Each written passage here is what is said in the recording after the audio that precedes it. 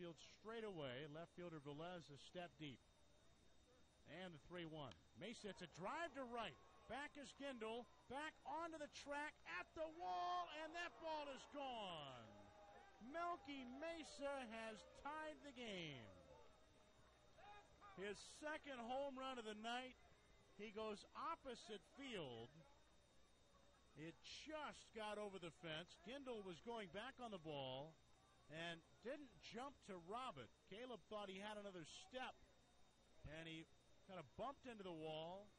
It's a home run for Mesa, and it's a 4 4 game.